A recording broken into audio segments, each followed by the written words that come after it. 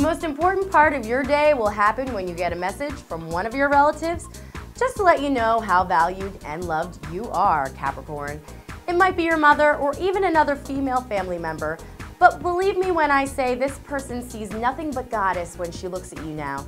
You might even have an ability to inspire this relative in some way and help her go after a personal dream.